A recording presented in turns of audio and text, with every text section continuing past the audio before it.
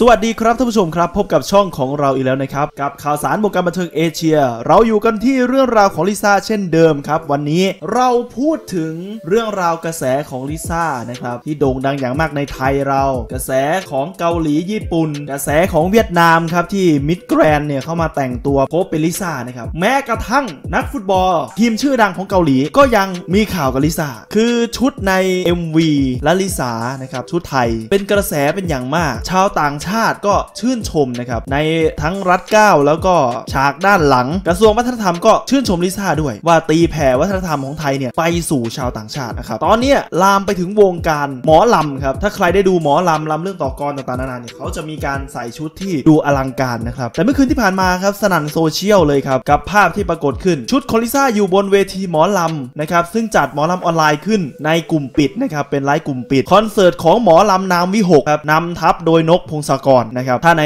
อีสานเนี่ยก็จะรู้จักนกพงศกรเป็นอย่างดีนะครับเขาเนี่ยออกมาตั้งวงเป็นของตัวเอง แล้วก็จัดโชว์ได้อลังการตรีมของนาคีเดอะมิวสิคลครับ ได้ถูกจัดขึ้นในไลฟ์กลุ่มปิด และภาพที่ถูกแชร์อย่างแพร่หลายมากที่สุดนะครับ ก็คือภาพของนางเอกวงหมอลำนามวิหกครับ นั่นก็คือยูกิเพนพกา เธออายุยังน้อยอยู่เลยนะครับ แต่ว่าความสามารถล้นเหลือ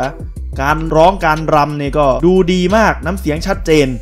ก็ในคอนเสิร์ตนะครับก็จะเป็นเนื้อเรื่องของนาคีนะครับก็มีเพลงของนาคีประกอบด้วย แล้วก็จังหวะลำนะฮะนี่ฮะเธอใส่ชุดของลิซ่าคือต้องบอกว่าอลังการมากนะครับเราได้เข้าไปดูตัวอย่างนะจากเพจของหมอลำนำวิหกก็จะเห็นได้ชัดว่าจัดเต็มมากนะครับดอกไม้ดูแลสวยฮะแล้วก็รัดเก้าของเธอ แล้วก็มีตรงผมหน้าม้าด้วยนะครับซึ่งแฟนๆหมอลำนำวิหกเองที่ได้ดูก็ต่างฮือฮาไปตามๆกันนี่แหละครับถึงบอกว่าตอนนี้วัฒนธรรมที่ลิซ่าส่งออกไปนะครับถูกตีแผ่ไปทุกวงการนะครับนี่อยู่ที่วงการหมอลำนะครับเชื่อว่าถ้าโอ้โหหมอลำเขาเปิดฤดูกาลไม่มีโควิดนี่น่าจะสนุกครับแฟนๆน่าจะตื่นตามากกว่านี้ ด้านหน้าเวทีนะนั่นก็คือเรื่องราวที่นำมาฝากกันในวันนี้หากคุณชอบใจอย่าลืมกดไลค์และซับสไคร b e เพื่อเป็นกำลังใจให้แอดมินด้วย วันนี้ลาท่านผู้ชมไปก่อนแต่เพียงเท่านี้ไปแล้วนะครับ สวัสดีครับ